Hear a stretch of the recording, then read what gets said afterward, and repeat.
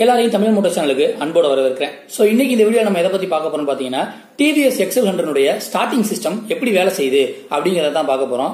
So இப்போ காமனா வந்து ஒரு ஸ்டார்டிங் சிஸ்டம் ஒர்க் பண்ணணும் அப்படின்னா அதுக்கு ஒரு நார்மலா இருக்கக்கூடிய ஒரு பேட்டரி ஒன்று தேவை. அது கன்வென்ஷனலா இருக்கலாம் ஏன்னா எம்எஃப் பேட்டரி ஏதோ ஒரு பேட்டரியா இருக்கலாம். ஸோ அதுக்கப்புறம் வந்து பாத்தீங்க அப்படின்னா ஸ்டார்டர் மோட்டர் அப்படிங்கக்கூடியது கம்பல்சரி வச்சிருக்கணும்.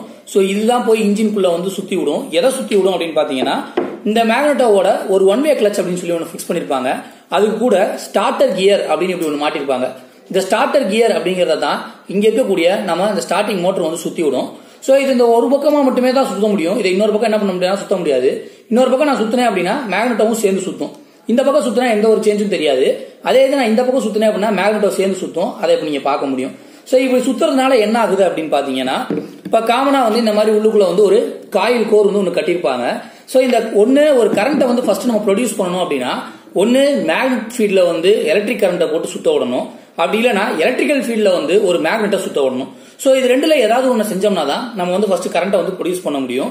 ஸோ இந்த வேலையை தான் ஆல்டர்னேட்டர் அப்படிங்கக்கூடிய ஒரு மிஷின் வந்து பார்க்குது. ஸோ அந்த விஷயத்த இந்த எக்ஸல் கண்டனுடைய ஸ்டார்டிங் சிஸ்டம்ல ஃபுல்லாகவே அவாய்ட் பண்ணியிருக்காங்க இப்போ நம்ம பார்த்த இந்த பார்ட்ஸ் எதுவுமே என்ன பண்ணாது அப்படின்னா எக்ஸல் கண்டனுடைய செல்ஃப் ஸ்டார்டிங் சிஸ்டத்தில் இருக்காது. ஸோ அதுக்கப்புறம் வந்து பாத்தீங்க அப்படின்னா ஸ்டார்ட் பண்றதுக்குன்னு சொல்லி இந்த மோட்டருக்கு ஹெவியான பவர் போகணுங்கிறதுக்காக ஒரு ரிலே கொடுத்துருப்பாங்க. அதை வந்து ஸ்டார்டிங் ரிலே அப்படின்னு சொல்லுவாங்க. அந்த ரிலேவும் இந்த வண்டியில இருக்காது. அதே மாதிரி ஆர்ஆர் யூனிட் அப்படின்னு சொல்லுவாங்க. இந்த ஆர்ஆர் யூனிட் அப்படின்னா ரெக்டிஃபயர் அண்ட் ரெகுலேட்டர்னு அர்த்தம். ஸோ இதுல ரெக்டிஃபயர் தனியா இருக்கும் ரெகுலேட்டர் தனியா இருக்கும். இந்த ரெகுலேட்டர் அப்படிங்கக்கூடிய வேலை வந்து டிவிஎஸ் எக்ஸல் ஹண்ட்ரட்ல இருக்காது. ஸோ இது எதுவுமே இல்லாம அந்த வண்டியில ஸ்டார்டிங் சிஸ்டம் எப்படி வேலை செய்யுது அப்படிங்கிறதான் இந்த வீடியோ நம்ம பார்க்க போறோம்.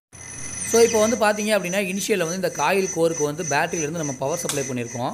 ஸோ அதனால் ஃபஸ்ட்டு பேட்டரி என்ன பண்ணிருச்சுன்னா மேக்னட்டோவை சுற்றி விட்ற மாதிரி இந்த வீலை வந்து இப்போ சுற்றி விட்டுருச்சு. சுற்றி விட்டுட்டு பேட்டரி கொஞ்சம் கொஞ்சமாக டிட்டாச் ஆகிக்கிட்டு இருக்கு. ஸோ வெளியில் வந்துட்டுருக்கு. ஸோ இந்த டயத்தில் வந்து பார்த்தீங்க அப்படின்னா நமக்கு வந்து இன்ஜின்லேருந்து பவர் க்ரியேட் ஆகி ப்ரொடியூஸ் ஆகிருக்கும் ஸோ அதை யூஸ் பண்ணி நமக்கு ஆட்டோமேட்டிக்காக இன்ஜின் வந்து ரன் ஆகிக்கிட்டு இருக்கும். ஸோ இப்போ இதை வந்து மேக்னட்டோ அப்படின்னு சொல்லி நீங்கள் அஷ்யூம் பண்ணிக்கிட்டீங்க அப்படின்னா கூட இப்போ வந்து வீல் வந்து ரன் ஆகிட்டு தான் இருக்கும். ஸோ இப்போ வண்டி வந்து மறுபடியும் நிற்கக்கூடிய ஸ்டேஜ் போயிடுச்சு மறுபடியும் என்ன ஆயிடுச்சு அப்படின்னா இந்த காயில் கோர் வந்து உள்ளே போயிடுச்சு. ஸோ இதுதாங்க பேசிக் மெத்தடாலஜி இது வந்து பேசிக் மெத்தடாலஜியை பேஸ் பண்ணி தான் வந்து நம்ம டிவிஎஸ் எக்ஸலில் வந்து ஸ்டார்டிங் சிஸ்டம் வந்து ஃபங்க்ஷன் ஆகுது. இந்த மெத்தடாலஜி வந்து பார்த்தீங்க அப்படின்னா ஃபுல் அண்ட் ஃபுல் ஸ்டார்ட் பண்ணுறதுக்கு மட்டும்தான். பட் ரன்னிங்கில் இதே மாதிரி இருக்குமா அப்படின்னு கேட்டால் இந்த டிட்டாச்மெண்ட்டுங்கிறது வந்து ரன்னிங்கில் வந்து ஆகாது. இந்த மெக்கானிசம் வந்து ரொம்பவே சிம்பிளான மெக்கானிசம் தான்.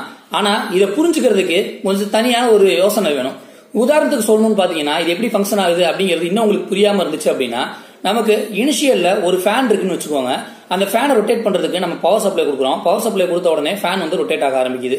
ஸோ இதே மெக்கானிசத்தை தான் அங்கேயும் பயன்படுத்தியிருக்காங்க. என்னன்னு பார்த்தீங்கன்னா அந்த இன்ஜினுக்குள்ள காயில் இருக்கு இல்லைங்களா? அந்த காயில நீங்க பவர் சப்ளை கொடுப்பீங்க. ஸோ காயில் ஆட்டோமேட்டிக்கா என்ன பண்ணுது அப்படின்னா இங்க மோட்டர் சுத்தி விடுற மாதிரி அங்க வந்து நம்ம மேக்னட்டோ வந்து சுத்தி விடுது. ஸோ அப்போ ஆட்டோமேட்டிக்கா இன்ஜின் என்ன ஆயிருதுன்னா ஸ்டார்ட் ஆயிருது. ஸ்டார்ட் ஆனதுக்கு அப்புறமா அதுக்கப்புறம் மறுபடியும் உள்ளுக்குள்ள இருந்து காயில் வந்து டிட்டாச் ஆயிருது. ஸோ டிட்டாச் ஆகிறதுனால உங்களுக்கு ஆட்டோமேட்டிக்கா இந்த ப்ராசஸ் வந்து கம்ப்ளீட் ஆயிடுது. அண்ட் செகண்ட் திங் வந்து பாத்தீங்க அப்படின்னா இதுல ரெக்டிஃபயர் அண்ட் ரெகுலேட்டர் அப்படிங்கக்கூடியது இருக்காது. அதுக்கு பதிலாக மொத்தமா ஒரே ஒரு எலக்ட்ரானிக் பாக்ஸ் ஒன்று கொடுத்துருப்பாங்க. இந்த எலக்ட்ரானிக் பாக்ஸ் வந்து எப்படி வேலை செய்யுதுன்னு பார்த்தீங்கன்னா அதுதான் சிடிஐயாக இருக்கக்கூடிய வேலையும் அதுதான் பாக்குது அண்ட் அது மட்டும் இல்லாம நம்ம வோல்டேஜ் ரெகுலேட் பண்ண வேண்டிய வேலையும் அதுதான் பார்க்குது. பேட்டரிக்கு இன்புட் கொடுக்க வேண்டிய வேலையும் அதுதான் பாக்குது அதாவது சார்ஜிங் கரண்ட்டை கொடுக்க வேண்டிய வேலையும். ஸோ அல்டிமேட்டா இந்த ஒரு எலக்ட்ரானிக் டிவைஸை வச்சு பல மெக்கானிக்கல் பார்ட்ஸை வந்து அவாய்ட் பண்ணிருக்காங்க அப்படின்னு தான் சொல்லலாம். ஸோ ஃபியூச்சரில் இதே டெக்னாலஜி இன்னும் நிறைய கார்ஸில் இல்லை நிறைய பைக்ஸில் வருமா அப்படின்னு பார்த்தீங்கன்னா இப்போ இது வந்து ஹண்ட்ரட் சிசி அப்படிங்கறதுனால இதனுடைய போர் அண்ட் ஸ்ட்ரோக் ரொம்ப கம்மி. ஸோ இதை ஸ்டார்ட் பண்றதுக்கு போதுமான அளவுக்கு பவரை இந்த சின்னூண்டா இருக்கக்கூடிய காயில் கோர் வச்சு அவங்களால கொடுக்க முடியுது. பட் இதே அளவுக்கு பவரை அவங்களுக்கு தேவையான அளவுக்கு பெரிய வண்டி இப்போ ஒரு உதாரணத்துக்கு இரநூத்தம்பது சிசி முன்னூத்தி இருபது சிசி அந்த மாதிரிலாம் கொடுக்க முடியுமா அப்படின்னு கேட்டா அப்போ காயில் கோர்களுடைய எண்ணிக்கை இன்னும் அதிகமாகும். ஸோ அதனால ஃபியூச்சர்ல இதே டெக்னாலஜி அந்த பக்கம் வருமா அப்படிங்கிறது கொஞ்சம் யோசிக்க வேண்டிய விஷயம் தான் ஆனா ஆரம்ப காலகட்டங்களில் மிஷிபிஷி அப்படிங்கக்கூடிய ஒரு கார் கம்பெனில இந்த டெக்னாலஜி விட்டுருக்காங்க அப்படிங்கிறது குறிப்பிடத்தக்கது.